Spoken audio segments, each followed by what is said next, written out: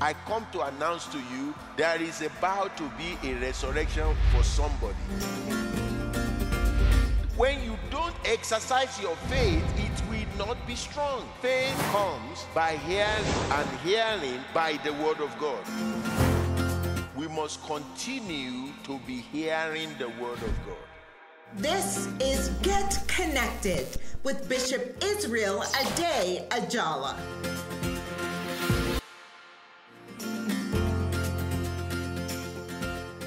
Welcome to Get Connected with Bishop Israel Ade Ajala.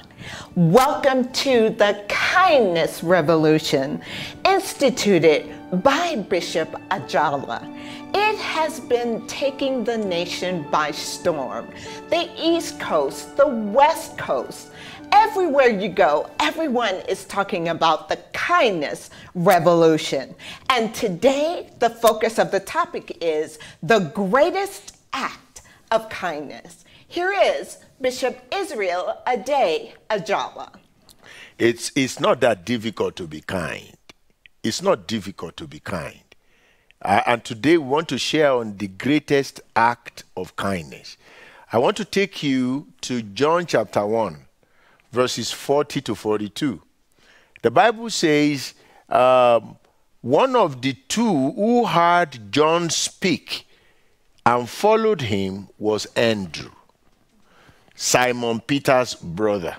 He first found his brother Simon and said to him, We have found the Messiah, which is translated the Christ. And he brought him to Jesus. Now, when Jesus looked at him, he said, You are Simon, the son of Jonah. You shall be called Cephas, which is translated a stone. You see, I said the greatest act of kindness you can do to anyone is to bring them to Christ. You can give people food, you can give, which we do at Kingdom Connection. You can give people clothing, but the greatest act of kindness is bringing somebody to the place where they know and come into the knowledge of Christ. I tell people at Kingdom Connection, I said, you know, eh, Jesus is the only one that we celebrate his birthday and he never get a gift we, we, we exchange gifts among ourselves. You know, some of us, like I, I, I, always say, you know, some of us are expert in rewrap. You know, the, the gift they give you five years ago, you rewrap it in another and you give it to a friend close by, and then only for him to open it and say, oh, this was the gift I got seven years ago. It has come around. You see, but we never give Jesus a gift. The gift you give to Jesus is another believer, is a soul. When the Bible never says heaven rejoice when somebody is healed. The Bible didn't say heaven rejoice when somebody uh, get a new job. Those are good. The only time the Bible tells us heaven threw a party is when somebody gave his life to Christ which means the only gift that heaven recognizes as a genuine gift is somebody coming to know the Lord. So the greatest act of kindness you and I can give can do is to show people the way to Christ and bring them to Christ. Now, all our accomplishment is nothing until Christ enters it. When Jesus is in the equation, equation balances. If Christ is not in the equation, I don't care how much you try, it is lopsided. You know, now look at this situation. I, I, I saw the greatest act of kindness from Andrew. Andrew, when Andrew met Jesus, he looked for his brother, Simon Peter. The Bible says Andrew, Simon Peter's brother. And he first went to find his own brother. Are there people in your house that are not saved? Are there people in your family that are not saved? Unfortunately, the world we are today, we are so cantankerous, so in your face, that it's so difficult for many Christians now to go back to the same people you've called bad name and share Christ with them. But if you would just swallow your pride and you would just go to them and say, you know, I did it out of the flesh, but Jesus still loves you and I do too. And you begin to show them the act of kindness. You know that people will say, Can I go with you to whatever is going on? I remember I remember uh, the cross and the switchblade. Yes. That movie, you remember? remember. I, I, and, and, and, and it was a time for for um, um, um, Nicky Cruz. He was supposed to to to to to revenge at a man. The man wanted to take him out, and Nicky kind of you know bring brought him down, and he took the knife, and the guy was expecting that Nicky will will put the knife in him, and Nicky said, I forgive you. And the man said, Wow. And he, he said, That preacher has been doing something on you. That preacher is doing something on you. You see, he showed the, and, and through that, they came with Nicky to church. You know, it is important that we realize that a life of cantankerous, a life of I'm in your face, I'm better than you, blah, blah, blah, is not going to help us in bringing people to Christ. And the greatest act of kindness in this month of December that we are going to celebrate the birth of our Lord Jesus Christ is to bring somebody to Christ. When Jesus was born, they said, Goodwill to all men. That's what the angel said. Goodwill to all men. And the word goodwill, it means kindness to all men. So the king of kindness has come. So what am I saying? Uh, I want you to make Jesus delicious so that people will want to eat it. Make Jesus delicious. Make Jesus swallowable. Make Jesus cute. Make Jesus tasty. Make Jesus so appealing. You know, the world is so appealing. I mean, they want to sell you peanut butter and yet they show you a lady that is half naked because they know that that will get your attention. Why is it that Christians are not creative in the way we show kindness to unbeliever? Oh, you insult me, I will insult you back. Oh, bust their nose, beat them up. And Christians are shouting, Yay! We don't know we are hindering ourselves in the mission that God has given to us, which is winning other souls. If you can celebrate your crushes on social media, you should be able to celebrate Christ on social media. You know, that's my boo. Your boo, boo, boo. But you are ashamed to talk about Christ. That is not kindness. You need to show kindness by telling somebody during this Christmas about, about Jesus Christ. I said, we finish thanks eating, then we should start Thanksgiving. You know, it's interesting that the world understood it. So on Tuesday, after the Thursday, they call it Thanksgiving Tuesday. Giving Tuesday. Did you notice that? Yes. Giving Tuesday. Because they realized there could be no Thanksgiving without giving. So they even say Giving Tuesday. And, and, and, and, and people will be calling, people will be calling. Even a scammer tried to call me. I want to scam me. He said his name is Matthew Henry. I said, I just give to your brother Spurgeon. If your name is Matthew Henry, I, he, I said, do, you know, a whole bunch of people use it to scam people. But these same people will already know that we as Christians, sometimes we are so greedy that we forget to share Christ with somebody else. Look, it's, it's amazing how we feel so comfortable coming to church, never share Christ with every, anybody, and we come to church all by ourselves. We just come to church and we sit down. It doesn't bother us. We don't like to go to restaurant alone. We like somebody to go with us. We don't like to go to movies alone. We want somebody to go with us. In fact, those, some people that drink, they don't like to go to pub alone unless somebody go with them. But it doesn't bother them to come to church alone.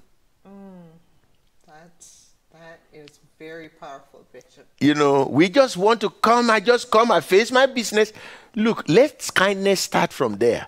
There is somebody in your neighborhood. I, I, I said to the people in Kingdom Connection, you don't know how to preach, that's not a problem. Can you deliver food? Can you just come to church and make grocery from somebody in your neighborhood or in the neighborhood where they are not and go deliver food to them? There's a woman in Commerce City that was calling us. Remember the story? And she said, You guys don't know what you have done. And she's blessed by the fact that we are able to provide uh, food for them. I wish we have more people who can do and just Yes. drop it at their door Yes. and say, "Hey, from Kingdom Connection, we love you. We we love you." You know, I I, I put something on on my Facebook le- uh, today, and um, I I just I, I I- want I want to show. I want to show you something that is very, very important. That uh, to me, I just I, I I call it John chapter eight, verse ten. And he says, Then Simon Peter drew a sword and slashed off the right ear of Malchus, the high priest's slave. You know, Simon Peter, who has confessed Christ, he was into cutting the ear, and Jesus said, Put your sword back. So listen, kindness starts with this. When others bickers and fight, you don't. When others seek revenge, you don't. When others keep a list of offenders, you don't. You know what we do? We take the towel, we fill the basin, and we wash that person's feet. When we do that, people will begin to see Christ in us. The Bible says, eight of them will grab you by the by the cloth and say, Take me to your God. Please take me to your God. Who is that God that has changed you? The greatest act of kindness we can show to people is that Christ died for them and they are not sinners. I mean, they are not cursed. That God can heal them. God, you see, we are messengers of good news. And we need to go back to that message of good news. I don't know, you know, uh, how we can feel comfortable when we see people suffering around us and it doesn't move us. Doesn't bother us. You know, we have all these big churches, stained glass church, and we drive in our big cars into the rundown neighborhood and we leave. And it does not move us. That's because we are so desensitized to that point that it doesn't even bother us to attack one another in the name of politics and deride and berate one another. You see, these are the things that God is telling us. You are no longer a child, America. You are no longer a child. Paul said, When I was a child, I, I, I, I, I spoke like a child. I think like a child. You are no longer a child. Christian in, our, in this country cannot claim that they don't hear the gospel. This is the home of where most of the materials for Christianity is written. It's time we live up to the expectation that heavens has placed over us.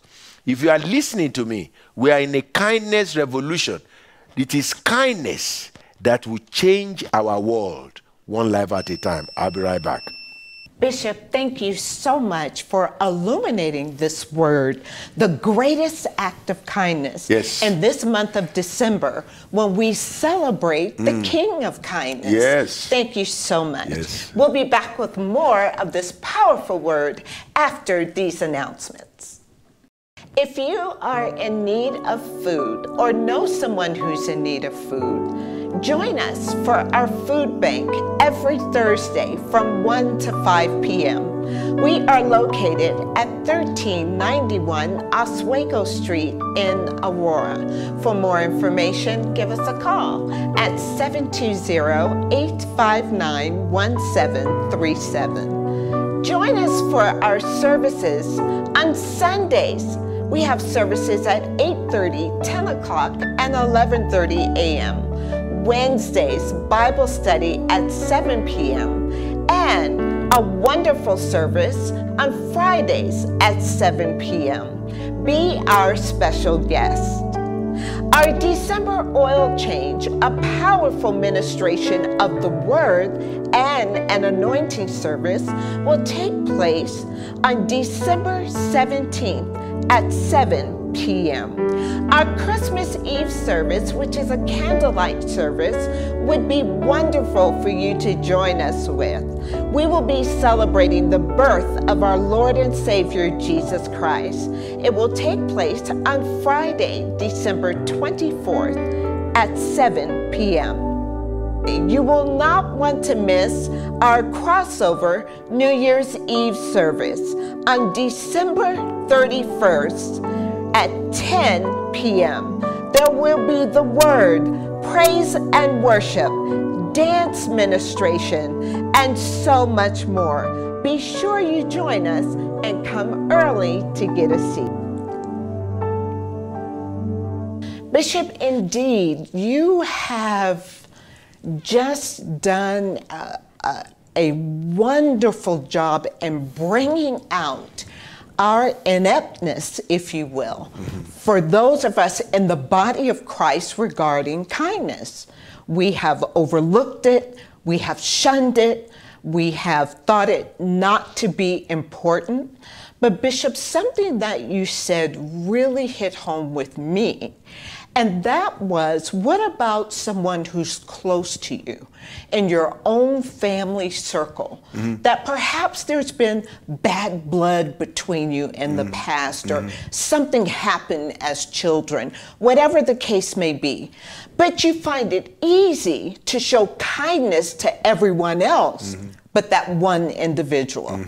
Bishop, perhaps there's someone in the listening or viewing audience today who's saying, That's me. How do I reach one of the closest people to me that I've not been able to reach with kindness? Uh, I've, I've discovered that the easiest way to reach people in your family circle is through modeling. You need to model kindness because they see you other people know 60% of you. It is people that are in your household that know you 90 or 98%. Yes. They know your frustrating side.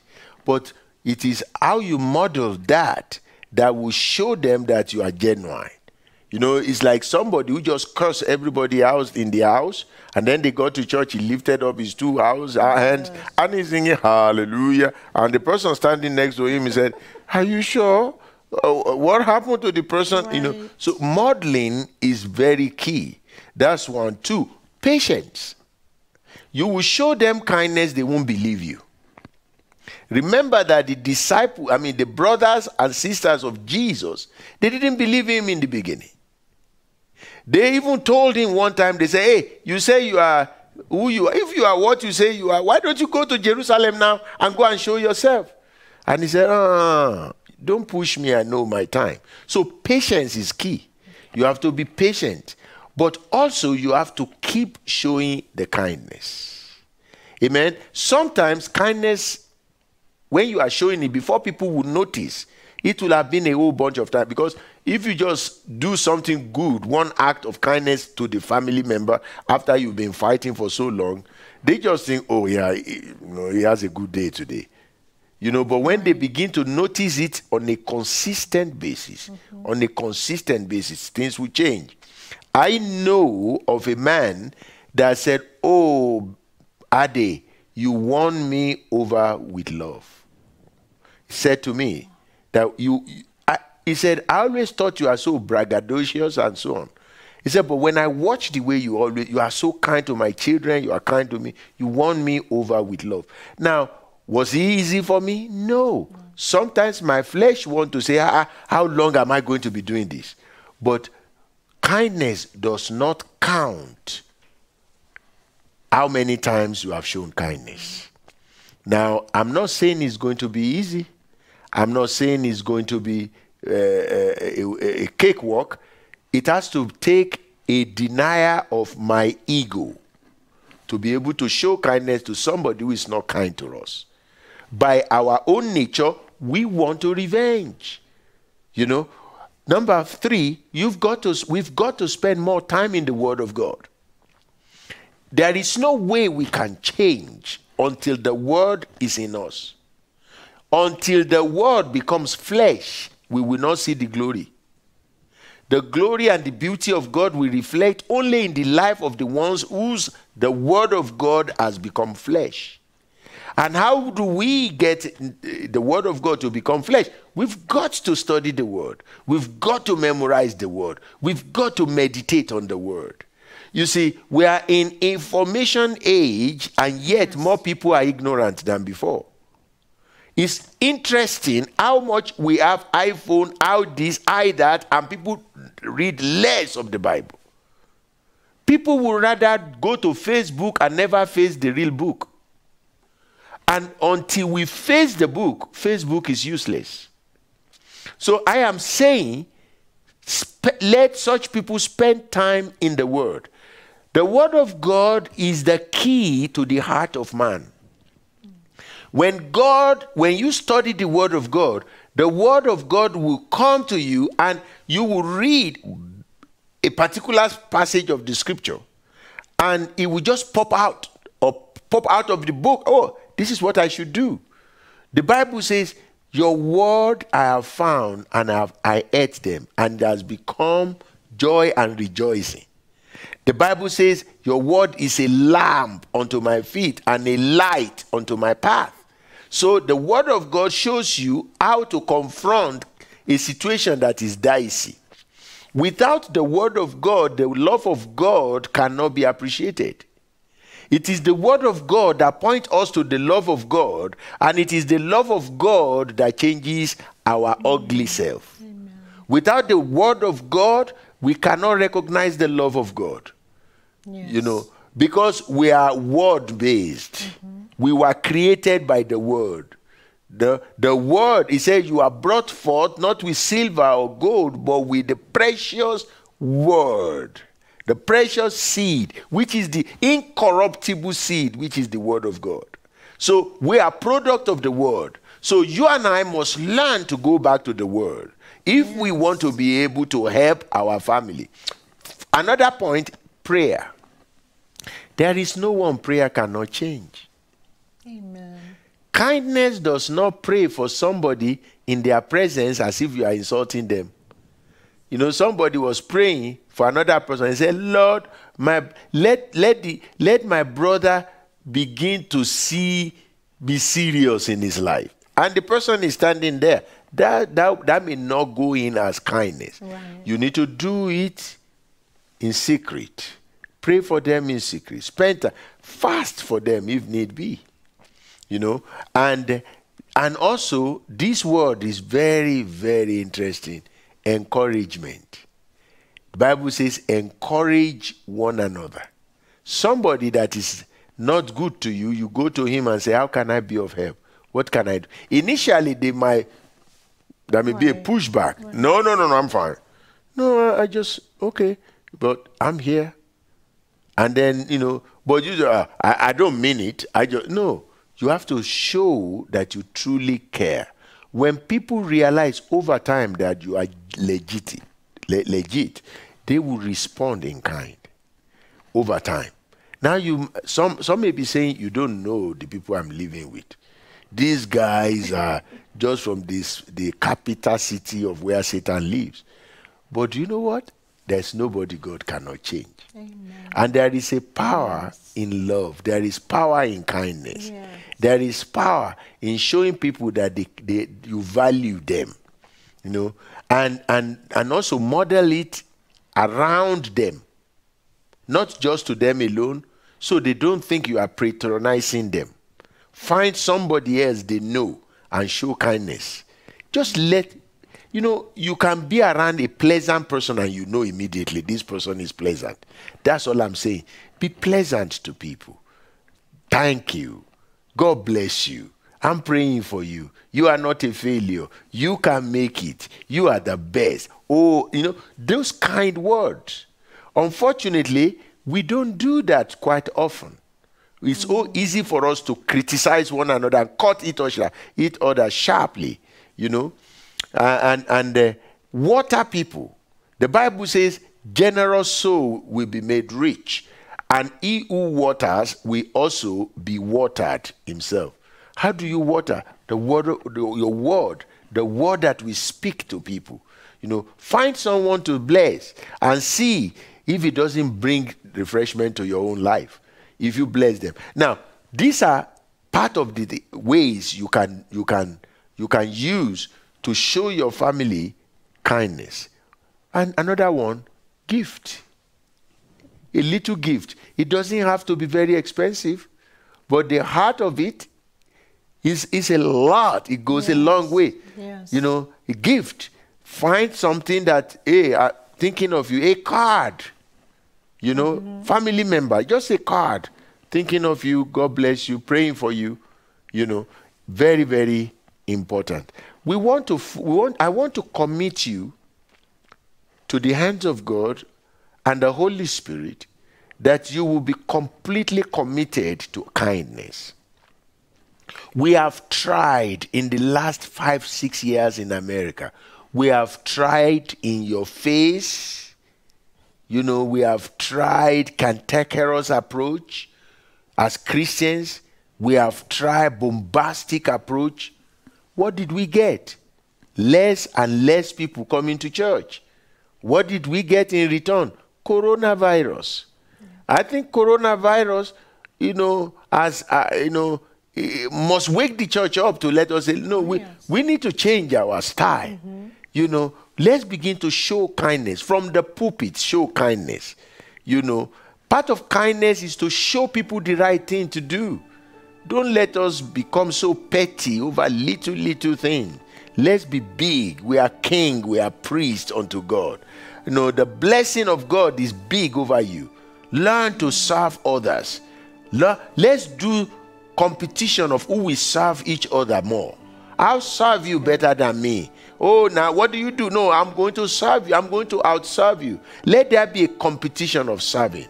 And many other. Let me pray with you. I have about just few seconds left. I want to pray with you before I go. I declare in the name that is above all name that this month my God will show you the path of kindness and people will favor you. Every challenge of your life will come to an end. In Jesus' name.